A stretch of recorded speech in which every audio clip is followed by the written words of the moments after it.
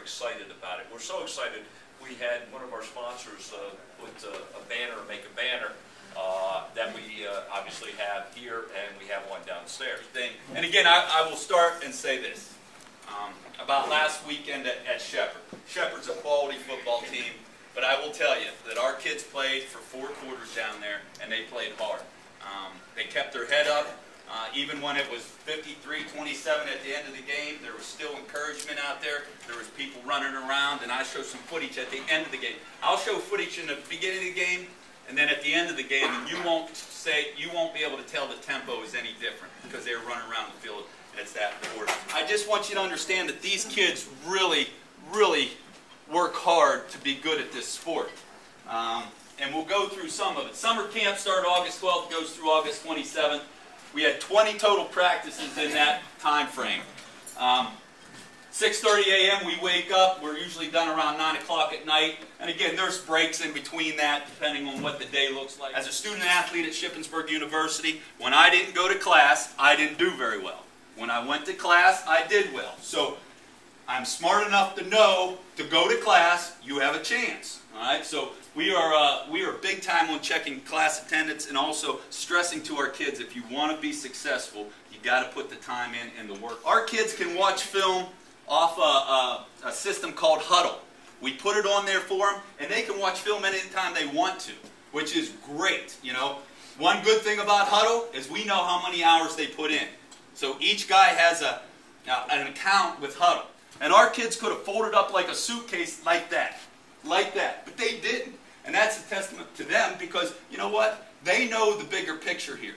They know the big, bigger picture of building a program that's going to be su successful on a consistent basis. So I give them a ton of uh, you know credit for what they did on Saturday. And I'll show you film, and we had a lot of opportunities to make some plays. But we got to understand that, listen, every play counts. Every play matters. We cannot afford to not do our techniques or know our assignments or, or work hard uh, during a certain play. We got to do it every play.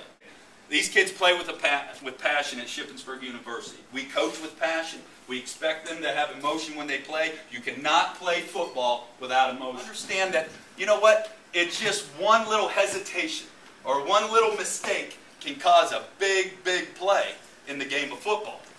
So here we go. All right?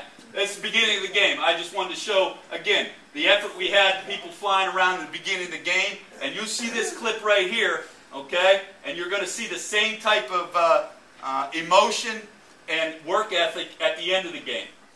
What happens here is right here. It just takes one guy just not to fit where he's supposed to. Very disappointed in the fact that we couldn't control the football. Um, and, and, that's all stuff now after we looked at the tape. Um, it tears you up inside, but it's all correctable. Okay? All these young men, they know what we expect of them. We worked real hard on this week of our emphasis, and it's always been securing the football. You want to be up-tempoing when you're making first downs. Um, so here we are in the first play of the game. Uh, the biggest thing is I used to sit in a cubicle in the front of the office. And then when everything started to hit the fan, I just send it back to the big office in the back. Now all that is going to the big office that I'm sitting in. And uh, that's the biggest change that I have is, you know, um, the buck st stops with me, everything that goes on with the program, you know, and if you think about it, it's 90 kids, it's 11 or 10 coaches. Uh, I deal with the training staff, I deal with, with you, Bill, uh, you know, with anything else like that, there's a lot of people involved with our program, and, uh, you know, it takes a lot of time and it takes organization, but I love it. I truly love it. it. It's the last nine months it went like this. The longest three hours was Saturday, but the nine months went fast. Um, so uh, it's that's the biggest change is, is, that again I'm involved with everything that deals with our program. But again, it's been pretty smooth so far. Yeah, and again I think you know if, if you take another positive out of the game on Saturday is we got a lot of people in the game. Okay, now. Uh, you know, we got a lot of second team people in the game to get them some reps to know so whenever they we are counting on them to, to perform that they're not going out there shell shocked. They've already been in the heat of the battle. So that's a good part. I'm pleased with our depth. And I'm very pleased that we are injury free right now. Injury free right now. Okay? That we don't, uh, our kids are healthy. Again, our training staff is doing a great job. Uh, and, and, that helps us. That helps us. So, you know, uh, our starters did a good job. Uh, uh, you know, we got to make improvements. But I like our, our second team or our second group to push the starters, and that goes back to that competition deal.